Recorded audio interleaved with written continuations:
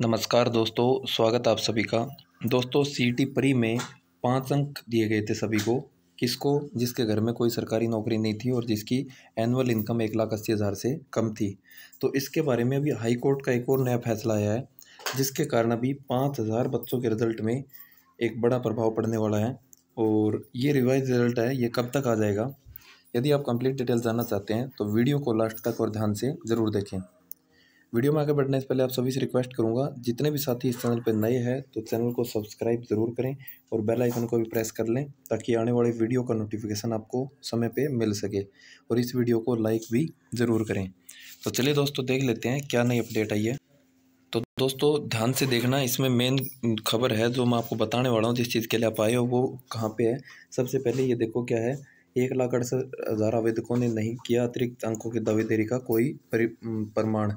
तो उनको भी प्रोविज़नल मान के अंक दिए जाएँगे। ये न्यूज़ पहले भी आ चुकी थी, लेकिन आज जो चेयरमैन साहब है, उन्होंने दोबारा से क्लेरिफाई किया। लेकिन यहाँ पे क्या देखो, अब बाहरी राज्यों के युवाओं को भी मिलेगा लाभ।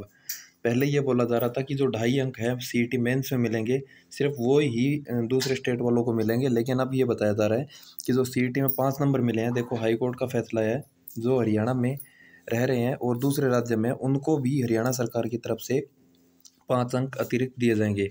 आयोग के चेयरमैन ने कहा कि अब बाहरी राज्यों से आकर हरियाणा में रह रहे युवाओं को भी अतिरिक्त पाँच अंकों का लाभ दिया जाएगा और ऐसे युवाओं की संख्या पाँच हज़ार है।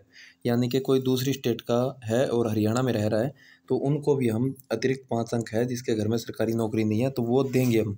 और ऐसा चेयरमैन साहब ने बताया कि ऐसे पाँच हज़ार और युवा हैं, जिनको हम ये नंबर देने वाले हैं।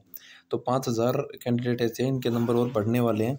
पहले ये बताया जा रहा था कि सी टी मेन्स में ही ढाई नंबर बढ़ाए जाएँगे, पाँच नंबर ये नहीं बढ़ेंगे, लेकिन अभी इसके लिए भी हाई कोर्ट का फैसला आ गया है, ऐसा बताया जा रहा है। आपकी इसके बारे में क्या राय है, आप कमेंट करके ज़रूर बताएँ। अपने वीडियो यहाँ तक देखिए आपका बहुत बहुत धन्यवाद।